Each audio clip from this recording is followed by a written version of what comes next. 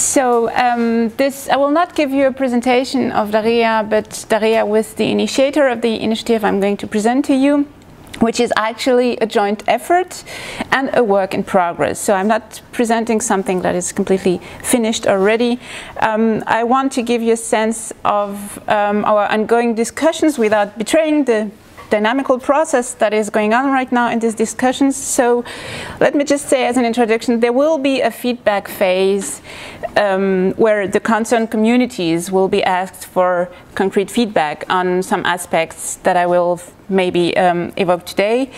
And you as members of the involved communities will be solicited, that will be probably in the late summer or the autumn. And maybe you will find then some elements that have evolved compared to what I'm going to present today. But my presentation really intends to give you an idea of where we stand today on the concept of the Cultural Heritage Data Reuse Charter.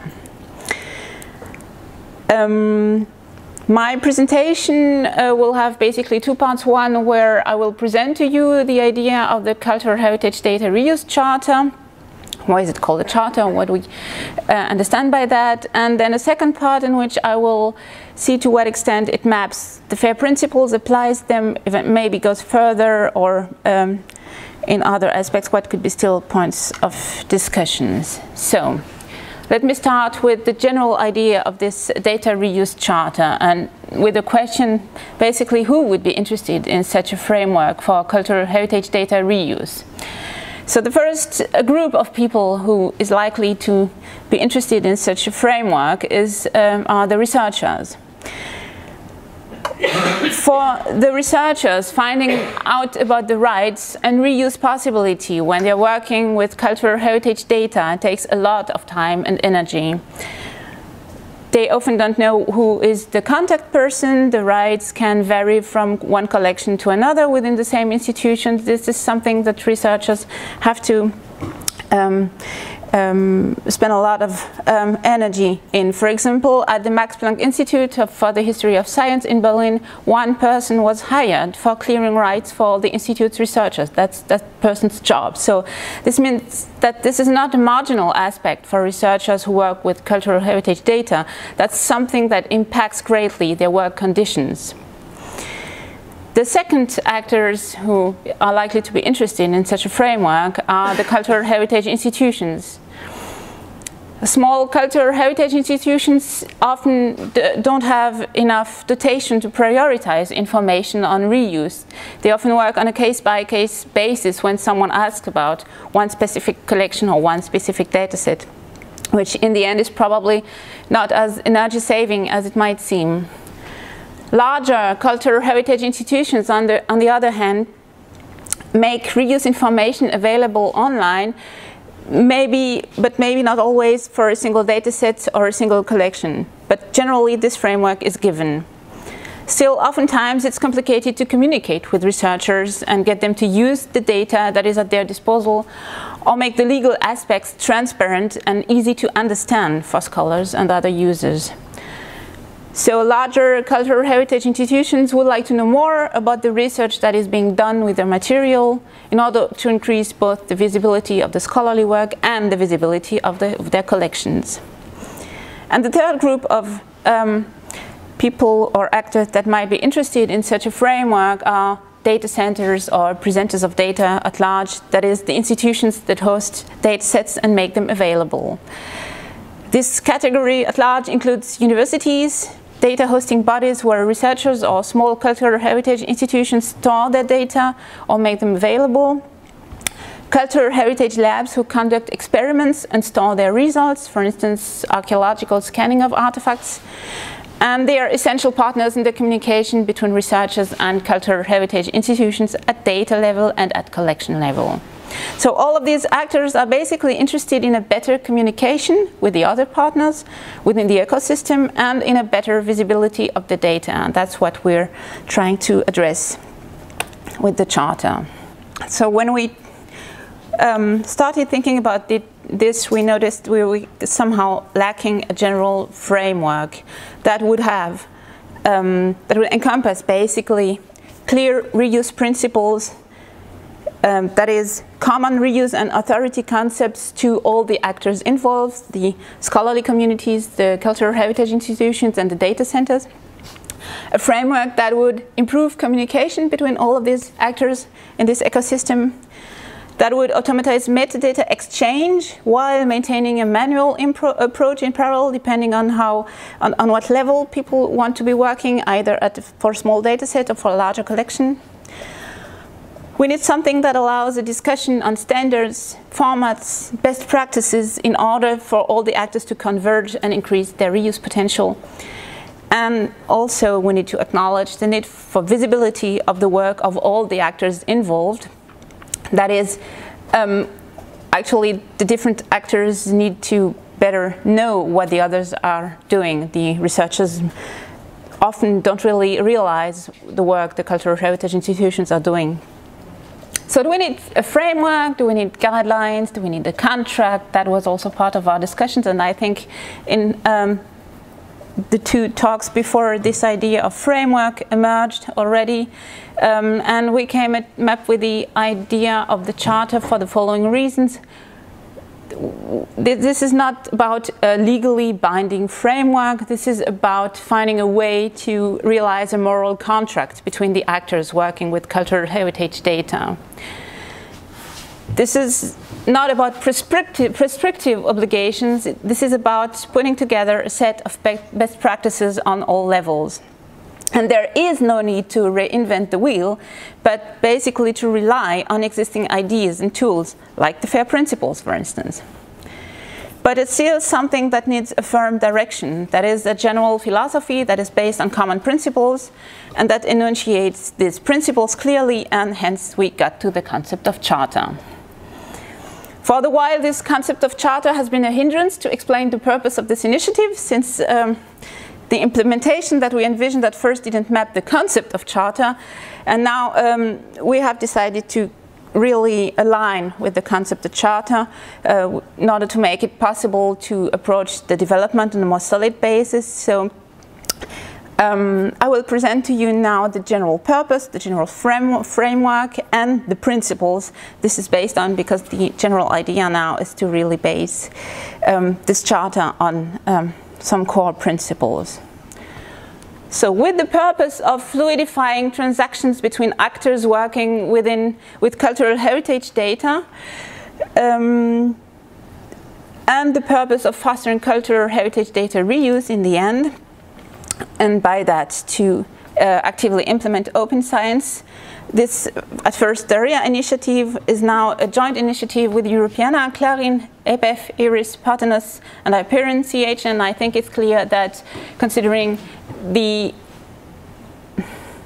width of this initiative, it is something that can only be carried out with all of these uh, partners who are now uh, together in a steering group working on the next steps. So concern, the idea is in the end to have this, to present this charter maybe as a web environment. So um, the technical requirements for this web environment are currently um, under review by the steering group, which is composed of, like I said, um, uh, representatives of Europeana, Clarin, APEF, E-RIHS, Parthenos, IPERION, and DARIAH. Um, the envisioned options are the following. You should come online uh, um, and be able to abide to the charter principles, so to sign the charter. The principles, I'll get to, to them uh, in a minute. Um, you should be able to retrieve information on licensing, on citation, on the reuse of specific datasets or of complete collections.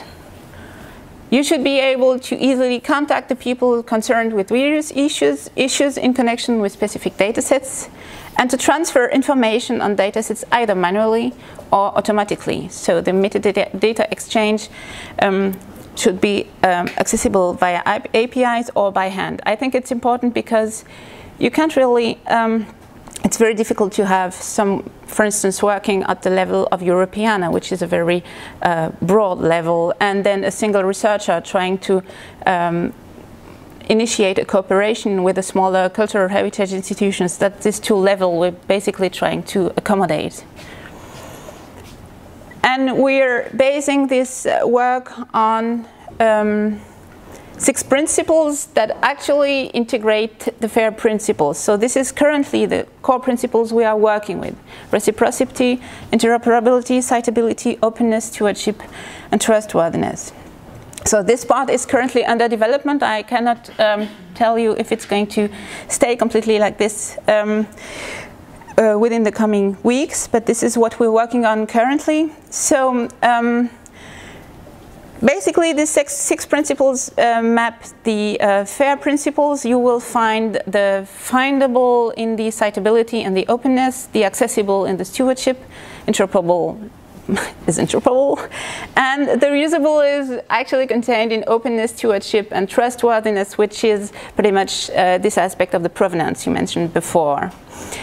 Um, while discussing to what extent um, this uh, is really a replica of the FAIR principles, we came to the conclusion that actually the Charter goes one step further because it does not take in consideration only the data characteristics, but also the relationships between the actors exchanging this data. So um, in that sense, the Charter is more practical um, since it is more addressable by the actors in terms of, for instance, citability and trustworthiness. I um, try to uh, map a little bit the differences with the Parthenos guidelines. It's interesting because in the, the Parthenos guidelines um, insist on the importance of metadata richness and complexity in order to achieve the implementation of the FAIR principles, um, on page 88 for instance. And the Charter goes in a complementary direction because we are, the, we're looking for the maximal simplicity uh, in the way um, this, this um, um, the fair, fair, principles are um, to be implemented. So the idea is to reach a very simple licensing framework.